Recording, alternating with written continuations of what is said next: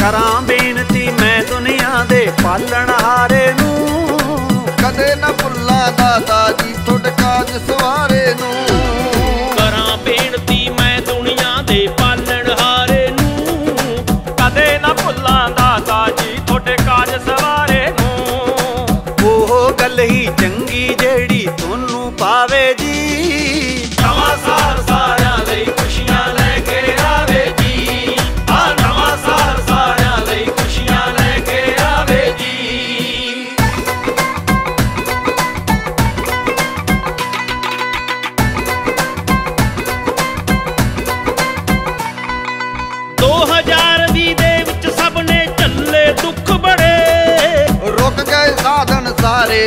ਲੋਕੀ ਘਰਾਂ ਦੇ ਵਿੱਚ ਤੜੇ।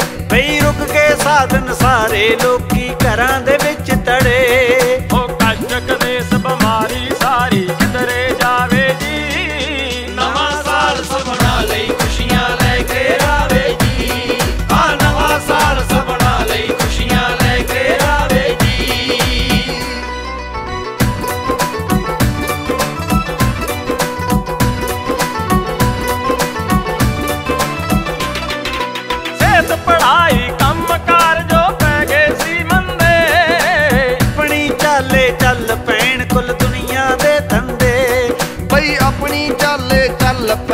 ਪੈਣ ਦੁਨੀਆ ਦੇ ਧੰਦੇ।